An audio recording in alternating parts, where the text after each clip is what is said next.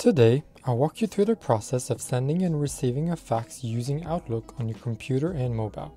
Please note that you can also send faxes by email with Gmail, Yahoo, and any other email service.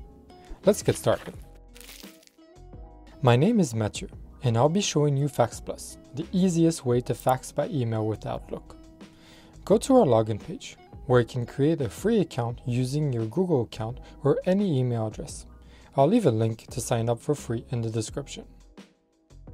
Log into your FaxPlus account with your credentials. Once you're in, navigate to the Settings and Faxing tabs to verify that the ability to send fax via email is active. Please note that if HIPAA compliance is enabled on enterprise plans, you will not be able to send faxes by email.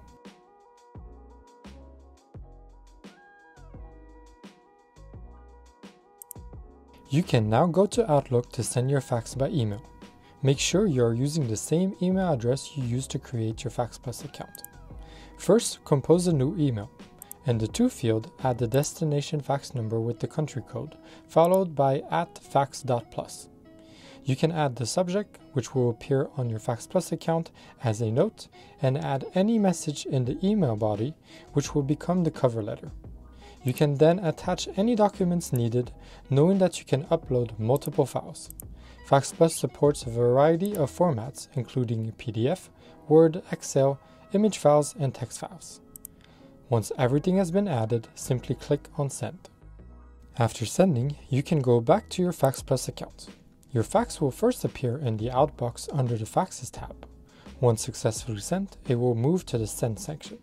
You can then view the confirmation page for reference, ensuring that your fax was successfully transmitted. If you're curious about how to receive faxes in your Outlook email, you can choose to have them sent to both your FaxPlus inbox and your email directly. To do this, log into your FaxPlus account and go to the settings sections on your dashboard. Under the Faxing tab, locate the notification box and click on Edit. Next, click on Modify, located next to the email. The email notification settings will be displayed so that you can select the notifications you wish to receive. That's it. You now know how to send and receive a fax with Outlook. If you have any questions, check out our resources in the description box below. Thanks for watching and happy faxing!